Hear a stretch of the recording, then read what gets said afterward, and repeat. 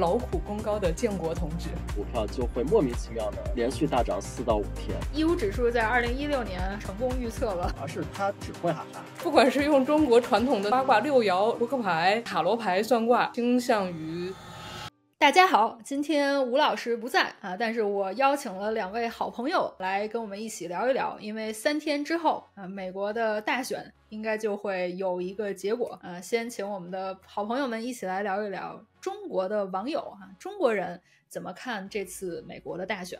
啊？然后今天请来的两位好朋友，一位是如果上过我的课的同学啊，会比较熟悉的，就是人在波兰的梅老师啊，是我北语的学妹。也是经验非常丰富的一位中文教师，所以梅老师今天可以给我们分享一下人在欧洲的一些观察。那另外一位，我们今天的嘉宾啊，就是现在人在北京的啊，我的高中的同学啊，也是很多年的好朋友赵科 Dennis 赵。大家好，我是赵科。我十年前呢，在美国的哎杜兰大学读法学院，后来呢就就职一家在欧洲的很大的一家再保险巨头。呃，目前呢在关注一些新兴风险，还有一些。创新和解决方案的方向的一些内容。平时呢，在无论在工作中还是生活当中，也会关注一些国际政治一些问题。所以今天很开心跟大家去聊一聊这方面的话题。对，我们可以首先从直接的这个观感上聊一聊，你们感觉到或者平时在社交媒体上能看到的中国网友怎么看这两位候选人。我们先从特朗普说起吧，啊，因为他这个一六年就开始出现在大家视野内了。他有若干个外号哈，首先一个比较广为人知的外号哈，就是川普。以前其实他的意思是四川普通话。有一个就非常离谱的一个事情，就是在中国有一些 A 股上市的股票，仅仅是因为里面带个川字或者是带个普字，他们相应的股票就会莫名其妙的连续大涨四到五天。举个例子啊，我中国有个叫川大智胜的这个股票啊，这几天已经连涨四四轮了。这股票跟川普一丁点关系都没有。这家公司好像是做飞行模拟的一个一个企业啊，它仅仅是因为它的名字里有川和胜，就是川普会胜。中国的好多股票的这个投资者或者投机者啊，疯狂的拉动了这这个股票的上涨。当然了，就是从这件这是很戏谑的一个事情。一方面说明我们国家的这个股市呢，还是有有待进一步的成发展成熟。好像是个笑话。另一方面也也能看出这个中国网友对于川普的这种喜爱啊，甚至不惜用自己的金钱。这是真金白银的喜爱啊！真金白银的喜爱。我觉得其他的特朗普的外号可能更好玩一点。比如说他有个外号叫“董王”，因为特朗普经常在。很多的这个公开场合说没有人比我更懂什么什么什么，所以大家把他叫“董王”。其实某种意义上也是说对特朗普的自信，其实是大家还是比较认可的。然后现在其实我觉得“董王”也不只是指他，至少我看到一些就是会说谁谁谁是“懂王”，就是从“懂王”开始，然后很多人觉得自认为自己懂很多，然后长篇大论，所以这样的人就叫“懂王”。另一个外号也很有意思啊，就是更有中国特色。川建国，这个怎么说呢？为什么管它叫川建国？首先，建国这个名字非常的有时代特色，我觉得，就可能四十年代、五十年代、六十年代那个时候的男性叫建国这个名字的是比较多的，就建立国家嘛，对吧？觉得川建国这个名字还是主要是因为特朗普之前在任的时候，他的一些政策实际上是削弱了美国的国际影响力。然后更有利于中国扩大国际影响，所以到最后的结果还是对中国起到了一些帮助的作用，所以很多网友就呃叫他劳苦功高的建国同志啊，胸前的红领巾。又鲜艳了起来，感觉他就是一直忍辱负重，然后承受着世人的误解，但是其实良苦用心、卧薪尝胆，都是为了建设中国，是吗？比如说他退出巴黎协定这个事情，实实际上并没有顺应这个时代的潮流嘛。然后中国其实一直就希望通过气候变化的议题之下，通过新能源赛道进行弯道超车嘛，实际上是给中国一个更大的一个喘息的机会，或者是更大的一个。发展的机会，所以中国网友都看得很清楚。对， By the way, if you're enjoying the podcast and want to learn even more from our unfiltered Chinese content, you can get Pinyin, Hanzi, and translation transcript on my website now. Click the link below and check it out. 那还有什么中文网络上比较常见的关于哈里斯跟特朗普他们的一些梗吗？ 哈里斯是从他名字的发音翻译过来的嘛，再加上他在演讲啊、采访中常常会用哈哈大笑这样的行为来回应一些问题，所以很多网友叫他哈哈姐。哈里斯其实他本身应该是有一个官方的中文名字的，叫贺锦丽。好像除了在中国大陆以外的中文地区，都是用贺锦丽这个名字。所以有的网友就根据他贺锦丽的这个名字，给他起了一个昵称，叫贺锦鲤。锦鲤。对，锦鲤就是咱们经常看到的那种白白胖胖的，或者是红白相间的那种大胖鲤鱼。锦鲤，它意思就是说这个人他运气特别好，运气爆棚。所以贺锦鲤、贺锦丽可能是意思是贺锦丽他有那么一点点运气，早上一起来就可以当总统了。那不是一点点运气，咱们上一任中文网络上的大锦鲤还是杨超越哈，好像。这个我可能说出去又得罪人了，就是在各个方面的这个条件哈，好像没有那么突出，但是呢，啊，最终获得了巨大的成功。这个我们可以说是有锦鲤体质的啊。我最近看到一个 B 站上播放观看量非常高的一个视频，一百多万的哈，挺有意思的。他就说这个哈里斯民调支持率反超川普，爱笑女孩到底靠实力还是运气？啊，因为我们中文一直有一句话，就爱笑的女孩运气都不会太差。还有什么关于这两位候选人的一些梗吗？在一起，在一起，在一起。因为现在不是两党之间竞争比较激烈嘛，一直在吵架。然后那个评论就说：“别吵了，别吵了，为了世界和平，在一起算了。”所以很多评论直接就是哈里斯和特朗普结婚是吗？上次结婚的主角还是希拉里。当然，我们刚才说的主要都是在网络上。那你们身边的人，或者你真的关系更近一点的这个圈子，有没有很多中国人在关注美国大选这个事情？特别是跟往届比。我个人觉得关注度没有八年以前和四年以前那么高了。当然，它美国大选肯定是很重要的一个国际事件嘛，肯定大家还是会有所关注，会有所讨论。但是很明显，没有在八年以前大家会那么的去关注。毕竟那个时候，特朗普。的确是一个非常规的一个存在，所以大家其实有点那种想看到新兴的一种力量来去打破传统，大家对美国政治的一个传统的印象。所以当那个时候，国内很多看特朗普更多的是看着一种新鲜感。但是经过八年以后呢，经过特朗普一任。然后拜登一任，更重要的是特朗普在最近遇刺的这个事情，以及拜登中途退选，然后换上哈里斯等等这些一系列很戏剧化的事情呢，我觉得在中国的网络里，大家也觉得有点摸不着头脑。八年前，二零一六年那次美国大选，算是中国关注度最高的一届吗？我个人的感觉是，我的感觉也差不多，因为一六年的时候我还在国内，大家整个过程会更关注。啊，就是当然，特朗普他作为一个反建制派的一个代表横空出世，很多美国人也是措手不及，就是嗯，怎么回事？到今年，虽然你刚才提到有也有很多比较 drama、比较狗血的事件出现，但是好像到现在没有像四年前，特别是没有像八年前那么关注了。至少我自己朋友圈，我感觉真的是没什么人提到这件事。我觉得可能还有一个原因，那个时候我们实在是太年轻了，吃的太饱了。那现在呢？人到中年，大家更关心自己的工作能不能保住啊？梅岩呢？你感觉呢？就目前，我从来没有刷到任何一条朋友圈是关于美国大选的。然后，在我的印象中，其实是对更早的一届印象更深刻，就是零八年奥巴马的那一次。啊，对，因为那会儿我正好是上大一，然后我们都是英语专业的，就会看英语的一些新闻什么的。对，我就记得很清楚，当时。一帮同学坐在教室里边，看到奥巴马当选总统的时候，就就觉得哦哦，这个事情很大呀，怎么怎么怎么样的。但是现在就大家生活已经很难了，就我管他美国的事儿呢，我自己活着已经很难了。这两天在集中的看一些中文的社交媒体啊，有一个评论也挺普遍的，就是美国大选能影响我一个月三千，就是我现在一个月就赚三千块钱，这个美国大选跟我有什么关系？太真实了，可能也是代表了比较普遍的一种中国人的心态啊。嗯，吃瓜更更简单，就是看看热闹就好了。呃，但是有限的，我们能看到一些中文媒体上对两位候选人的一些评价或者一些分析也好，为什么感觉？中国人更关注特朗普，甚至于在看到的内容里面，其实是更倾向于不一定是支持，但是更青睐特朗普，而不是哈里斯，是因为非常不喜欢哈里斯代表的这个左派或者自由派的一些政策或者文化，还是说特朗普他本身有一些特质，呃，非常吸引中国人？就是我觉得是这样，因为特朗普本身他就是一个自带流量的一个人，因为他在商界已经非常有名了，而且。我觉得中国人对他的认知呢，可能很多人除了他是个地产大亨以外呢，更多是从当年他有个真人秀叫《学徒》，觉得影响了我们那一代我们的大学生，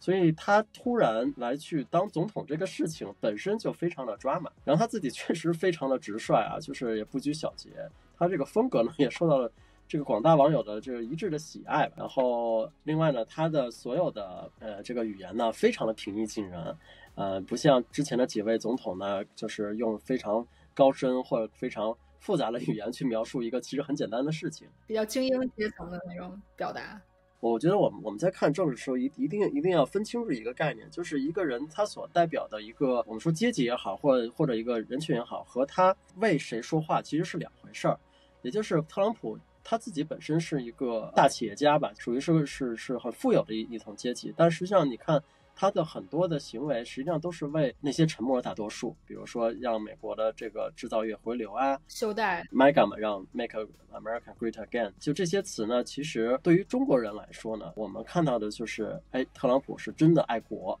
因为中国人本自己本身有一个爱国情节，另外他自己也有一些这种英雄主义色彩或者这种比较戏剧化的这个色彩，就无论他的整个这一生。我觉得特朗普真的是百年一遇，甚至是几百年一遇的这么样一个天选之人，所以我觉得这这些呢，可能就是从那个表面层面来说，就是特朗特朗普呢，在中国网民的这个心中的形象呢，呃，还是非常的活生生的一个形象。但反观呢，我们就是刚刚说的哈里斯哈，就大家网上说叫他哈哈姐，就他的哈哈呢，不不是说他快乐，而是他只会哈哈，所以就是就只有快乐，对。他只有快乐，然后中国网民对他的评价是相对比较负面的。他本身并没有像特朗普一样，呃，有非常这个扎实的，无论是政绩也好，或者是在其他领域上有非常突出的一个成就。其次呢，他这次也是实际上是临危受命的，临危受命，临时临时上来的，就大家对他的背景也不是很了解。然后另外一个，的确哈，我们看我们看了他这几次，无论是公共演讲还是辩论，总体来说呢，呃，并不尽大家的期期期许。呃，因为它似乎有一个模板，然后这个模板能够套用任何的事情，所以导致呢，大家真正的想去听到他对未来的，无论是经济政策呀，或者是移民政策等等，这这些很重要的一些和人民切身利益的这些事情，他并没有说得很清楚。所以呢，总体上来说呢，大家会觉得特朗普的可能胜算会更大一点。从我这边，就是我这边看到的一些网友的评论，包括他们的一些分析，呃，有相当一部分网友认为，不管是特朗普还是哈里斯上台，对中国都不是非常有利。但是相比之下，哈里斯就是代表的这个民主党，他的政策怎么说呢？就是对中国来说更不利一些，所以他敌人的敌人就是朋友，所以他们就会比较倾向于特朗普。所以就是中国网友可能更担心，如果民主党上台，他的一些国际外交的政策还是会加剧跟中国的这种竞争或者一种博弈。然后特朗普他可能更主导的是孤立主义嘛，就是更关注美国国内的发展，而不会有那么多的拨款呀、援助啊送到海外。因为我作为一个美国的纳税人哈，就是我这这几年纳的税都在美国，就是我自己确实也会更关注美国的这个财政问题，就是到底怎么使用纳税人的钱。说到这个，就是我因为长期生活在波兰，所以这个美国总统最后是谁上台、谁当选，对波兰的影响最大的影响，那肯定是我们东边的俄乌战争。我问过身边的一些波兰朋友，呃，大部分人还是觉得，如果特朗普上台的话，对波兰的影响是非常大的，因为他的一个政策就是会削减对乌克兰的军事援助，那这样的话，非常有可能导致乌克兰处于下风。那如果处于下风，那波兰就非常危险，因为从地理上来说，波兰的东北角是俄罗斯的一块飞地，非常小的一块飞地叫加里宁格勒。但不管它大小，它至少是直接接壤的。然后再往下有一个非常小的一部分是跟立陶宛接壤，再往南边是白俄罗斯。呃，大家也知道他现在在俄乌战争中所处的角色。你科普一下什么角色？大毛跟三毛一起打二毛。波兰人的大部分人他们的想法就是白俄罗斯它是受俄罗斯的控制，它是一个联盟。对对对，是联盟。所以如果一旦乌克兰处于下风，那么波兰的半拉边境线都会受到威胁，而且再加上波兰又是进入欧盟的一个。入口。那如果波兰受到威胁，那整个欧盟都会有一些更复杂的问题啊。所以这个就是对于在波兰的不只是中国人，就所有在波兰生活的人都会有一点担心的地方，就是特朗普上台可能会直接影响到俄乌战争的战况。是的，中国的网友可能比较隔岸观火一点，就是好像没有那么直接的影响。嗯，但是为什么还是有更多人比较喜欢特朗普？刚刚刚说到这“隔岸观火”这四个字，我觉得总结了就是中国网友对于太平洋东岸的目前的一个态度啊。其实特朗普本身他就是一个商人，他提的很多的政策呀，什么退出气候协定啦、暴力增加关税啊、给给全民减税等等这些，听起来就是非常的不可思议。但实际上，从商业角度来说，那就是一个非常好、很好理解。他其实就是做了很多事情，其实是一个谈判的一个筹码。呃，因为在商人眼里，他是没有敌人，只要能合作，无非就是我们看中间的一些利益上的一个分割和博弈而已。特朗普的很多政策实际上是非常务实的，他的务实呢，当然是从美国的角度来去出发。那我觉得中国人也是个非常务务务务实的，所以我们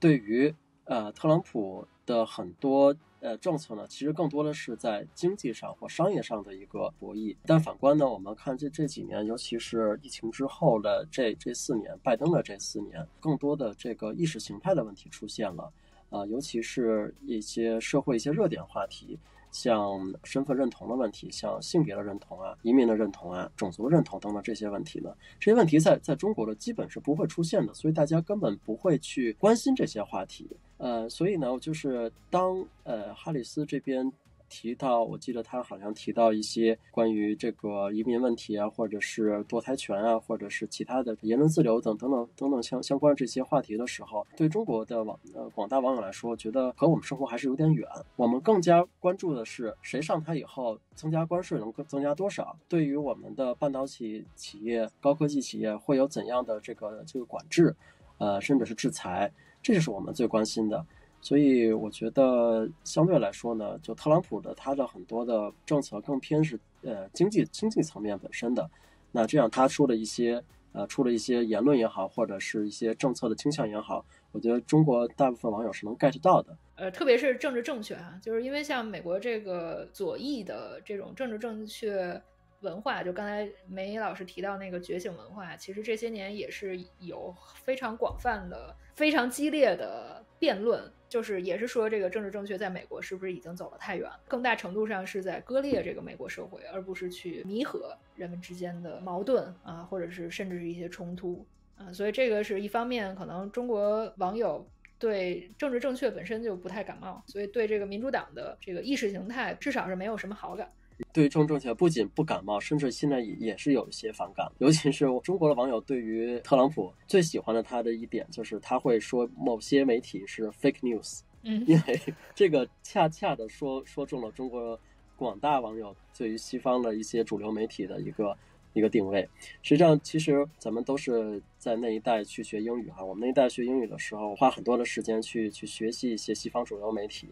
啊，其实，在这个过程当中，我们把它当英语学习，同时呢，也是通过这个窗口来去学习西方的一些认知。但其实，当我们慢慢长大成熟以后，我们发现，其实当时我们学到的很多的这些内容，其实背后是有意识形态的。当然，当然，对。然后，其实刚才说特朗普，他不仅是美国这个沉默大多数人民的一个嘴替，其实也也是中国 大多数网友的嘴替。当他每次说的某些。主流媒体是 fake news 的时候，其实很多中国网友是非常非常赞成，因为我们长时间非常的呃厌倦了某些西方媒体对中国的一些加了加了一些滤镜来去报道，所以这些从这点来说，我们要回到这，就是因为意识形态这个东西本身呢，其实是非常复杂一个讨论啊。但是我觉得还是说中国人还是非常务实的一点，我其实很简单，我就想知道谁上台以后对于我的经济影响，对于我的工作，对于我们。呃，整个产业链的影会会有怎样一个影响？这是我们最关注的事情。其他的那些所谓政治正确的东西，呃，我们不仅不会有太多的感同身受，甚至我们已经有点有点厌烦了。最近这个马斯克哈，就是直接去给特朗普站台了。当然，马斯克在中国国内的影响力也是非常大的，包括他的形象，其实不像在美国可能比较有争议。我觉得总体来说，马斯克在这个。中文网络上的形象是一个比较正面的，大部分人，绝大部分人还是对他是有好感的。所以这一次他算是改变了自己的看法吧，因为我记得他之前是比较支持民主党的。硅谷大佬一般来说，科技公司一般还是应该是偏左一些的。对对对。然后，但是最近就突然他转变了，完全站在特朗普这边，而且还斥巨资去支持。特朗普，所以这个让大家也是比较惊讶的。刚才说过，特朗普他在中国网络上的形象，呃，相比哈里斯来说是偏正面一些的。然后再加上马斯克这样的一个非常正面的在中国网络上的形象，这两个 buff 叠加，双厨狂喜。而且还有一点，有很多人就说他支持特朗普是因为对民主党的政策比较失望。特别是他自己的个人情况，他的儿子在十六岁的时候，呃，受到觉醒文化运动的影响，选择变性啊，所以这件事情对他自己的影响比较大，所以他对于民主党的未成年人变性的一些政策，比如监管方面的一些政策。他是持反对态度的，所以这个也是他选择支持特朗普的一部分原因。我觉得于公于私，反正 现在都感觉被推到了民主党的对立面，因为在他商业上面可能也是。民主党这几年一系列的政策，就是限制他公司的一些发展。呃，马斯克在中文媒体中的形象是非常非常伟大的，不仅是有有特斯拉，而且最重要，他有 SpaceX。尤其是几周以前的 SpaceX 火箭回收这么这么一个视频，在中文网络上其实是爆火的。然后大家都会说，就是他的整整个技术的确是。遥遥领领先的一个这个技术，从某种意义上来说，我我之前读读了一篇文章，我觉得说其实是很有意思的。主要指马斯克其实是在人类历史上没有任何一个君王，没有任何一个呃企业家或者一甚至一个公司能够。媲美马斯克今当今拥有的这个资源和权利，这个权利指的是什么？暂时还没有到这个政治权利，而是因为他有自己非常强大的科技，而且这个科技是非常先进的科技，上到太空，下到自动驾驶或者 AI 这这种技术，他也一步一步正在向政治上靠拢。大家可以看他第一步，当时把当时的 Twitter 通过这个超能力。把它收收入囊下，并且对它进行一个算法的一个改革。其实这个在我们业内也好，或者是整个 AI 界也好，或者是法律界也好，是个巨大的争议的。你的算法实际上是否可可以通过它的算法能够改变整个一个舆舆论的倾向，甚至是意识形态的一个一个走向？那我觉得马斯克现在实际上他已经在做做类似的事情。呃，就像刚刚呃梅老师说的，就是或许出于对呃民主党的这个政策的失望，或者出于自己。呃，家庭的一些影响，所以他认为就是在 Twitter 上面以前的偏左、非常自由派的这个这个言论需要重新的去调整。那他的调整方式呢，实际上就是通过用这种 AI 的算法来去去去调整。那谁有这种 AI 算法，实际上谁就有这种巨大的一个权利。那从从这个角度来说呢，马斯克带着这样的一个权利入局，给特朗普站台，我觉得真的是双剑合璧。我觉得这两个人能够碰出一个巨大的一个火花出来。当然，从从另外一个角度来说，就是这种方式是会不会产生一个其他的一些法律上的一些争议？我觉得这个我们还需要去客观的去看这个问题。但是总之呢，我们会觉得就是马斯克去给特朗普站台，实际上，呃，在我们看来，其实也是一个商人，目前来说还是商人和商人的一个一个联合，但是在政坛上开始开辟自己新的一个一个商业战场。等特朗普上台呃上上台以后。呃，会对整个这个产业会有怎样的影响？我觉得还是有有待考证的。比如说，那个特朗普他一直是是号称要对中国去抬高，是呃好像是两倍的以上的这个关税，但实际上，呃，马斯克有大量产业链是在是在中国的。那那是不是马斯克和这个特朗普呢去去强强联手这种站台，或许从商业考商业的考量上来说，会不会就对于之前？这种惩罚性的关税会有一定的这个缓释，我觉得也是有可能的。两位都是百年一遇，甚至是二百、三百年一遇的这种奇才啊，我觉得能在我们这一生能够遇见，其实本身我觉得人生还是挺有意思的。我们也见证了历史。我从你的表述中听到了一丝崇拜。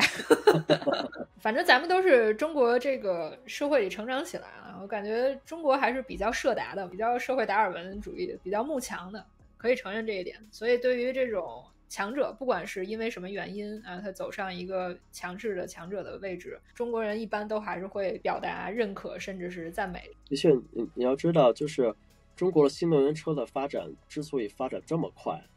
并不仅仅是靠政中国政府的这种大力的扶持，其实是和中国政府这个这个扩大外资，让马斯克的工厂